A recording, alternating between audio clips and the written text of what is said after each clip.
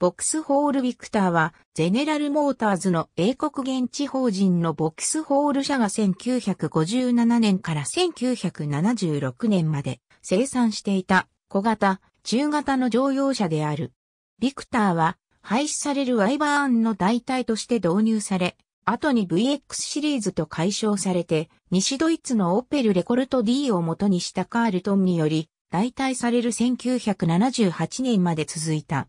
最後のモデルは1980年代から1990年代初めに、インドのヒンダスタンモーターズで、イスズ製エンジンを搭載したヒンダスタンコンテッサとして、ライセンス生産された。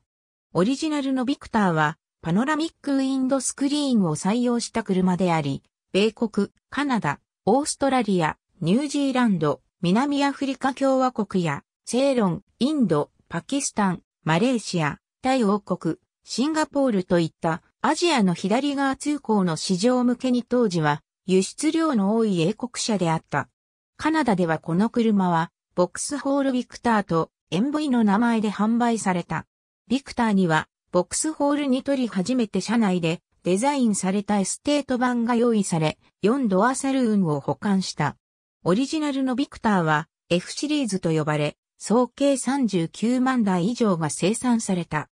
この車はモノコック構造のボディと曲率が高く、広い面積の前後面窓を持っており、その当時の米国車のスタイリングの流行を追って、窓のピラーは後継していた。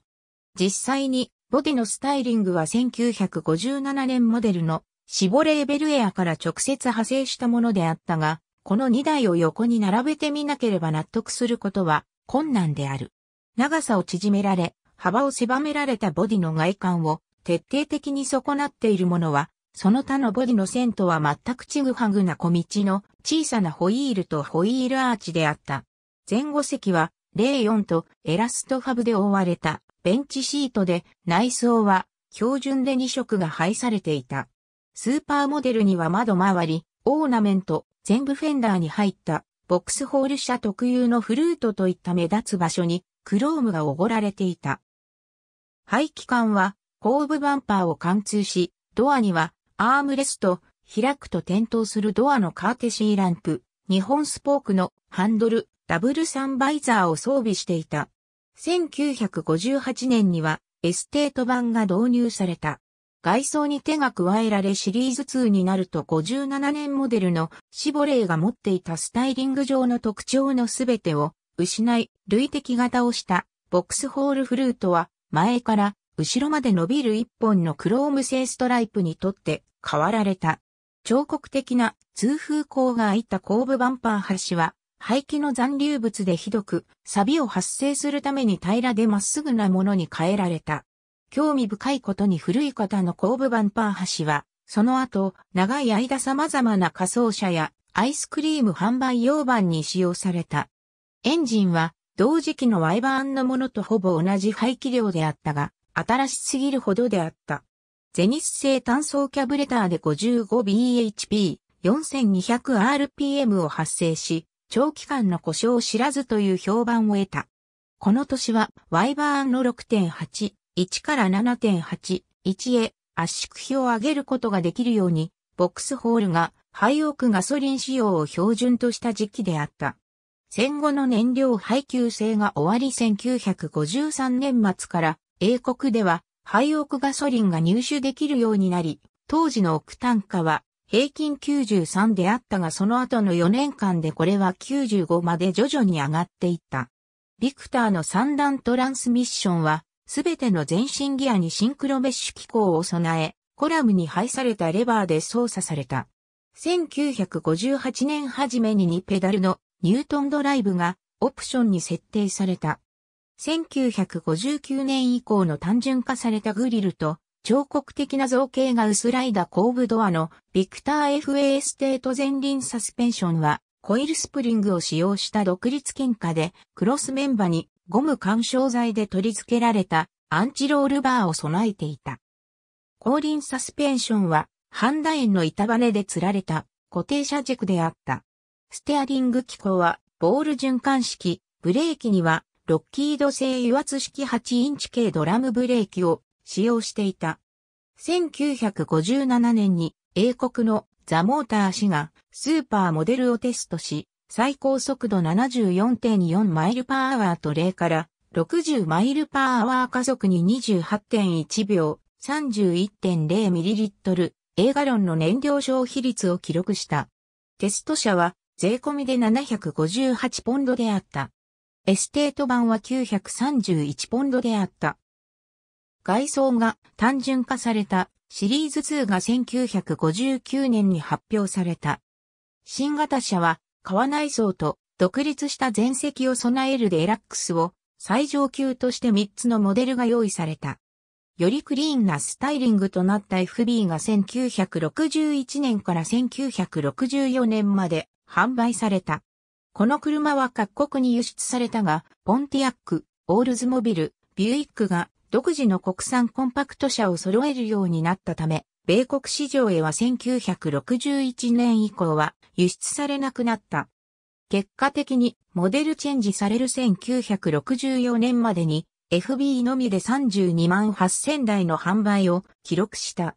ボディのスタイリングは GM のいかなる影響も感じさせないもので、平坦な前部とタートルデッキの後部は少し前の米国フォード車を思い起こさせるものであった。機械機構的な主な変更点は、オプションで前段シンクロメッシュ機構付け4速フロアシフトが設定されたことであったが、標準では以前の3速コラムシフトを引き続き使用していた。エンジンも高圧縮比化と配管が刷新され出力は 49.5bhp へ増加した。1963年9月に排気量が1508から 1594cc へ拡大され、上がり続けて97となった英国内で販売されるハイオクガソリンの平均オクタン化に応じて、排気量拡大と同時に標準エンジンの圧縮比がさらに高められ8.1、1から8.5、1となった。1963年は大型の14インホイールとともに前輪ディスクブレーキがオプションに設定された年でもあった。大排気量エンジンを搭載したモデルは顔周りに手を入れられてグリルが黒塗装とされ、グリル両側最下端のパーキングライトが新しくされた。ビニール表皮の全席ベンチシートがベースモデルとスーパービクターの標準であったが、左右独立シートはデラックスに標準、下級モデルにはオプションで用意された。ヒーター、フォグライト、ラジオ、スクリーンウォッシャー、交代灯、シートベルトといったものがオプションに設定された。1961年に英国のザ・モーター氏が 1508cc エンジン搭載のスーパーをテストし、最高速度76.2マイルパーアワーと0から60マイルパーアワー加速に22.6秒、32.2ml、A ガロンの燃料消費率を記録した。テスト車は251ポンドの税込みで798ポンドであった。71bhp を発生する連想キャブレター付けの高圧縮比エンジンと倍力装置付けブレーキを備えたスポーツ仕様の派生型 VX490 も用意された。標準型とは外観上ボディ側面の色付きストライプ、新しくなったグリル、大型化されたテールライトオイで識別できた。この外観上の差異は本質的にカナダ市場のみで販売されていたエンボイと同一であった。4、92はエステート版は設定されなかった。1964年から1967年までの FC は車室幅を広く取れるように側面窓に曲げガラスを用いた最初のボックスホール車であり、エステート版は同クラスの中で際立って容積の広い車であった。4年後にアウディ100にも取り入れられた革新的なデザイン上の特徴は長年米国車が共通に採用していたように車腹灯、方向指示灯を全部バンパーに組み込んだ点であった。英国で初となる彫刻的なバンパーはボディと連続した形を作り上げ、切り立ったボディ側面の円をクロームで囲みドアハンドルを一体化した姿は全体的には GM 系列車としてはユニークなものであった。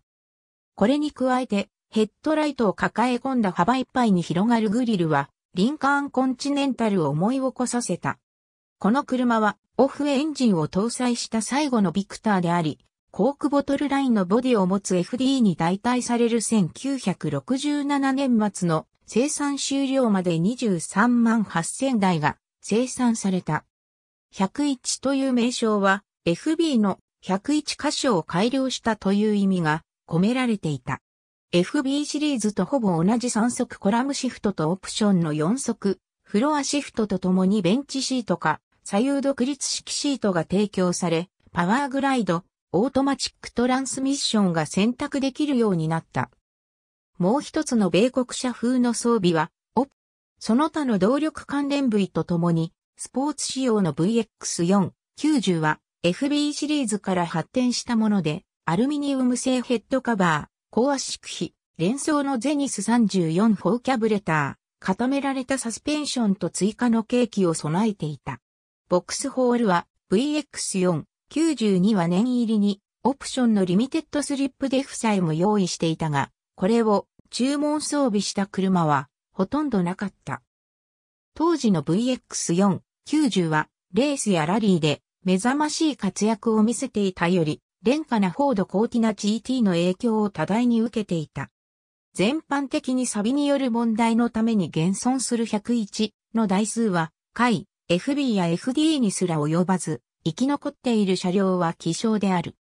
101は、不当に忘れ去られ、過小評価されている。生産終了間近の1967年5月に、英国のオートカーシが 66bhp の 1595cc エンジン、4速フロアシフト MT のビクターデラックスをテストし、最高速度81マイルパーアワーを記録したが、これは近い時期にテストされたオースチン A60 ケンブリッジやフォード、コーティナ1600デラックスと同等であった。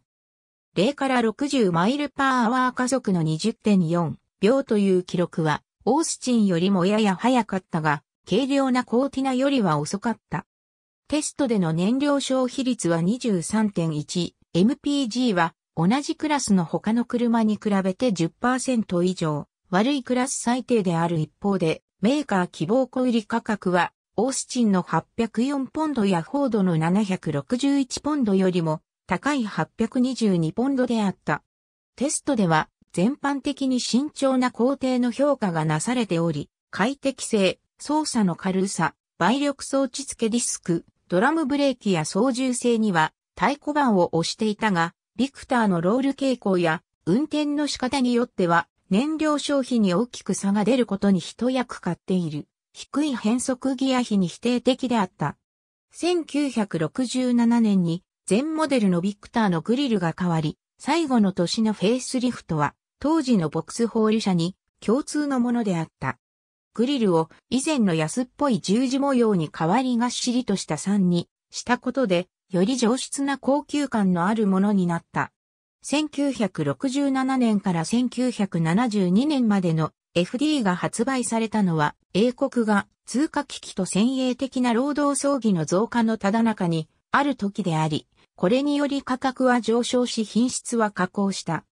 数値の上では、この 1599cc と 1975cc の OHC エンジンの設計は先進的なものであったが、空力バランスが崩れているという悪癖から、米国の符牒でいう、ヘーベーラーというあだ名を賜った。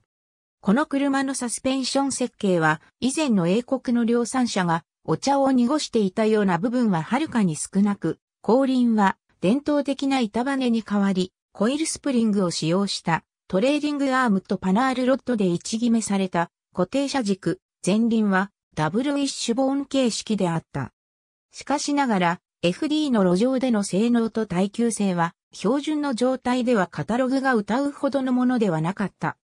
独立チューナーのブライデンスタインはオーバーヘッドカムシャフトに効果的に改造を施し、ビクターの能力を最大限に発揮させた。しかし FD は全席ベンチシートという伝統的なファミリーカーとしてのビクターからは距離を置き、快適で格好の良いバケットシートを前後席に注文することができた。これはビクター2000に標準でビクター1600にはオプションであった。よりスポーティ仕様の VX4、90と6気筒エンジンのベントゥーラには、バケットシートが標準で、後者には1969年から可動式バックレストが標準とされた。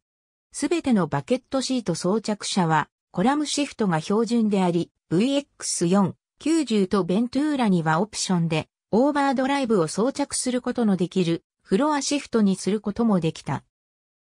1968年2月に、ボックスホールは、ビクター FD のボディと、これまで大型のクレスタとバイカウントにのみ、搭載していた 3.3L の6気筒エンジンを組み合わせたボックスホールベントゥーラを発売した。88bhp の 2L の4気筒エンジンを搭載したビクターに比べ 123bhp のベントゥーラは増大した出力に応じてより大きな前輪ブレーキ、キャリパーを備えていた。ベントゥーラはその増差なく発揮する高性能のため兄弟モデルとはほぼ別の車であり、そういった意味で英国市場では同価格帯にこの車の明確な競合車は存在しなかった。内装には回転計を含む計器類が追加され、外観では太いタイヤ、ビクターの間隔の詰まった横棒仕立てのグリルがハーモニカ状となり屋根は黒のビニールレザーで覆われていた。ビクター FD エステート。この時点ではベントゥーラのエステート版は存在せず、写真のビクター 3300SL エステートがベントゥーラの6気筒エンジンと比較的ベースモデルのビクターに近い内装を備えて1968年5月に登場した。1968年5月にボックスホールの扱い車種にビクター FD を元にしたビクターエステートが復活した。サルーンと同様にエステートには 1599cc か 1975cc の4気筒エンジンが選択可能で通常はクレスタに搭載されている 3294cc の6気筒エンジンも提供されていた。エステート版では後輪サスペンションが強化され、ベースの 1599cc モデル以外は全モデルが前輪ディスクブレーキ付きであった。FD サルーンの標準トランスミッションはコラムシフトの3速 MT であったが、4気筒モデルにも追い金を払えばフロアシフトの4速 MT を注文することが可能であり、3294cc のビクター A ステートにはフロアシフトの4速 MT は全体パッケージ内に含まれていた。1599cc モデルに標準の前席ベンチシートの足元空間を確保するためにフロアシフトの変速レバーは十分前方の床から生えていた。VX4 90はビクターのスポーツ仕様であり、最初は FB を元にしていたが後に FC や FD シリーズにも設定された。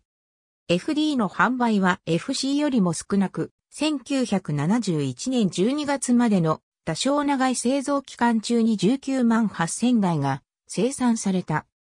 1972年3月にビクター FE が発売された後も FD の新車が販売されていた。少ない生産台数は、1970年のボックスホール社の長期ストライキの影響と、海外市場のいくつかで販売を止めたためであった。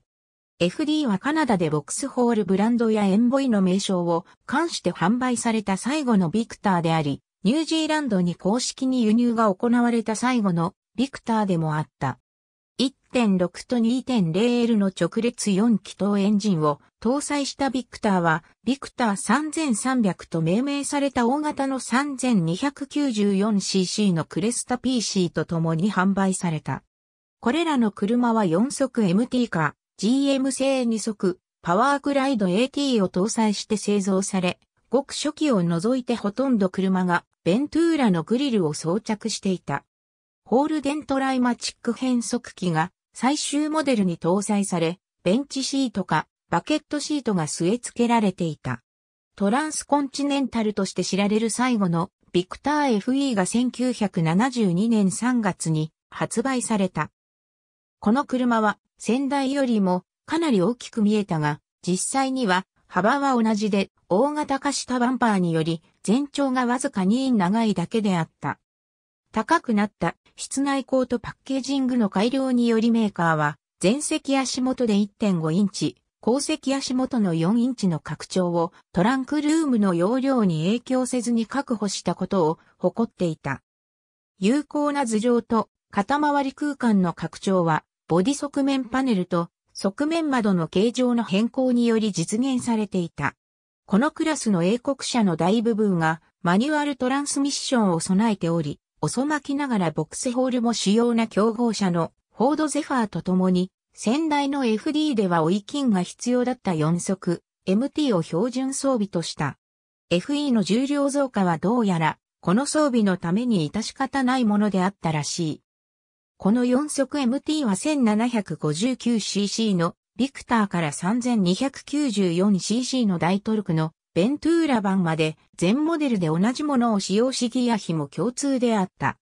当時の路上テストでは4気筒車がこの車の報道向け発表会の行われたポルトガルの参道では2速と3速の間が空きすぎていることに否定的な評価を受けた。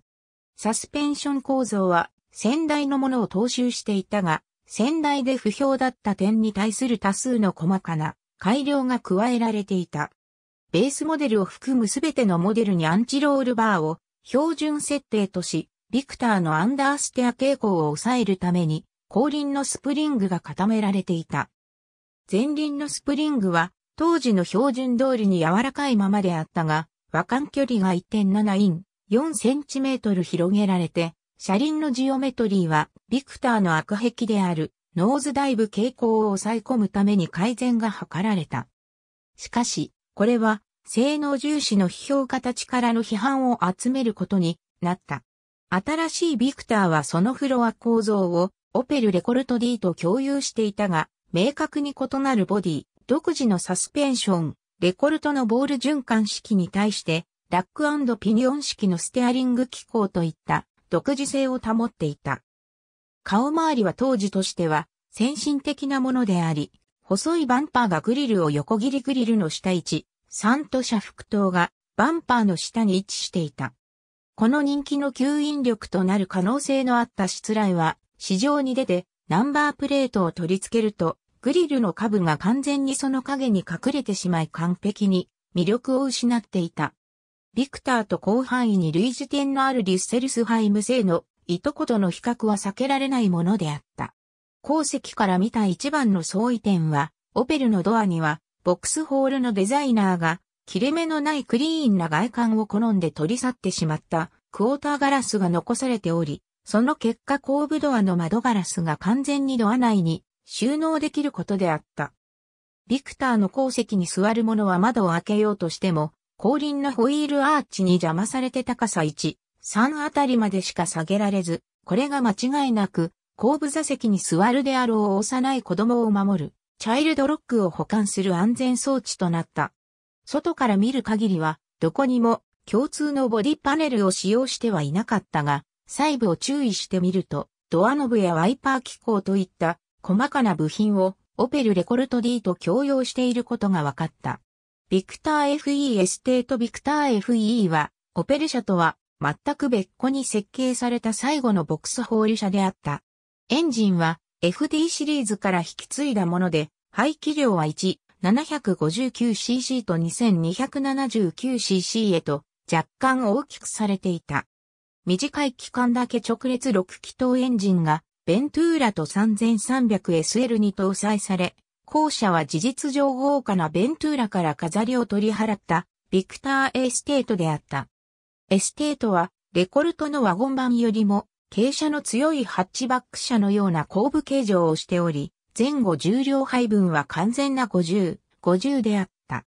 1974年にその他のモデルのモデルチェンジに伴い、ついにベントゥーラのエステート版が導入された。世界的なオイルショックの影響により輸出は減少し、会社の混沌とした状況のイメージが増していったことで1970年代、初めからボックスホールの凋落を引き起こしたことにより1976年、初めに VX シリーズに引き継ぐまでに生産された FE の販売台数は5万5千台に止まった。後期型の VX2300GLS1976 年、初めから比較的大きな 1800cc エンジンを搭載したビクターが企業の車用車を統括する管理者がより新しく小型で比較的装備の良いキャ、バリエ GL のより色良い値引き額を引き出す材料に使えるようなおすすめ価格で発売され、ベースモデルのビクターは当惑するような値付けに据え置かれた。古いビクターを上級者市場へ移行させようという試みで、ボックスホールはベースの 1800cc モデルの外装化色を 2300cc モデルと同じようにし、布生地のシート表皮やセンターコンソールとともに木製化粧板で飾られた新しい軽基板といった内装も向上が図られた。シートベルトとハザードランプが全モデルに廉価に提供された。ボンネットの下の 1800cc エンジンにも様々な改良が施され、出力は前モデルの 77bhp から 88bhp へ増大していた。こういった変更により重量は増えていたが、最高速度は89マイルパーアワーから100マイルパーアワーへと向上していた。変更したことを気づかせるために、ボックスホールはビクターの社名を廃止し、ボックスホール VX とした。VX シリーズは外観では単純化されたグリルとヘッドライトが新しくなったことで識別することができた。3年早くボックスホールクレスタが消滅したため、FE ボディのベントゥーラのみが古いボックスホール製6気筒エンジンを使用していたが、今や4気筒エンジンを搭載した VX2300GLS がフラッグシップ車として6気筒のベントゥーラを代替した。1977年3月にゲトラグ製クロスレシオ5速 MT を装備したより、スポーティな VX490 が今度は VX をベースにして、当初はヨーロッパ本土の輸出市場向けのみに導入された。この車は連想キャブレターを既存の 2279cc の4気筒に装着して 116bhp を発生するエンジンを搭載していた。燃料噴射装置版も計画され試作車でのテストが行われたが、実際の量産車としては日の目を見なかった。VX490 は、ハロゲンヘッドライトとバンパー上に補助のフォグライトを備え、ロードノイズを減らすために遮音材が追加されていた。側面ガラスの枠は黒に塗られ、塗色は4色のみでそのうち3色はメタリックであった。メーカーは1978年に VX492 のみ、右ハンドル仕様を英国市場に導入すると発表した。1978年にカールトンがショールームに静かに登場するとルートンで生産されるビクター FE をベースにした VX490 の生産終了時期は定かではなくなったが、1979年初めまでは販売車種に名を連ねていた。VX490 は1962年頃に初めて FB シリーズに高性能版として追加された。FB シリーズの生産期間中に名称が多少変更されて VX490 となり FE シリーズ最後の VX は1978年に VX490 と解消された。VX490 という名称はもともと使用上のボグゾールエクスペリマントル4気筒エンジン90インから名付けられた。性能向上の改良とともに VX492 はビクターと差別化するために外装と内装にいくつかの改装が施された。ベントゥーラは1968年の FD シリーズに導入され、1976年に FE シリーズで廃止されるまで販売された。この車はビクターのボディを使用していたが、大型のクレスタに搭載されていたベッドフォード由来の 3294cc6 気筒エンジンを使用していた。ベントゥーラもビクターと差別化するために外装と内装にいくつかの改装が施されていた。英国のモータースポーツのスーパーサルーンカテゴリーに参戦するために1974年にワンオフでビッグ、ベルタとあだ名を付けられた FE の特別モデルのホールデンレプコベントゥーラが製作された。ゲイリー・マーシャルの運転する、この車は強力なレース用チューンが施された、ホールデン製 5.0NBSP-LV 型8、気筒エンジンを搭載し、その全体形状以外はほとんど量産車との近似性はなかった。この車は不運に見舞われ6回目のレースで事故に遭った。この車は大きすぎかつ重すぎて、マーシャルの腕をもってしても操縦性に多大な問題を抱えていた。最終的に同じエンジンとシャーシをずっと小型のボディと組み合わせた新しい車を製作することに決まり、この車にはドループスヌートフィレンザのボディが与えられた。ベイビーベルタとあだ名されたこの車は1977年にボックスホールがレースからラリーへと参戦の場を移すまでレースを席巻し、非常な成功を収めた。2009年9月10日に1台のビクター101がサマーセットの砂浜の砂の中から出現した。この車は36年前に噴出し、寄せる波に現れて泥の中にうずもれた。車両の全部と後部がエンジンと共に海中で確認された BBC ニュース。ありがとうございます。